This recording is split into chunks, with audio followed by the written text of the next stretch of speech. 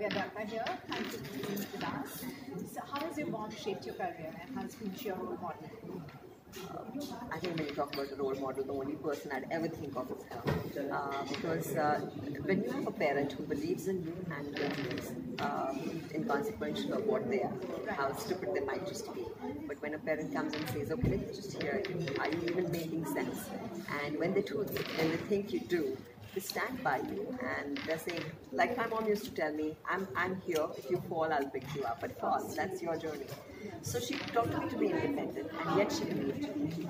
And I don't think, and with all the opposition that I had to join the industry because I was uh, uh, academically very inclined. So everyone in the family thought she should go the stereotypical way of becoming a doctor like the rest of the family or taking up something else like that.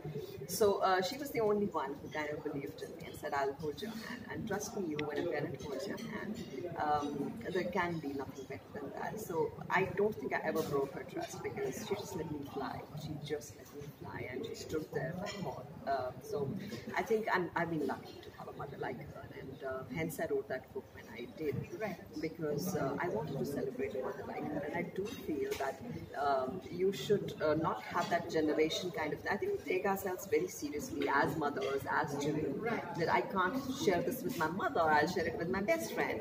Or why can't you be best friends? So I think one step from there and one step from here, uh, it will be a very beautiful relationship. And I am saying it because I've personally experienced it.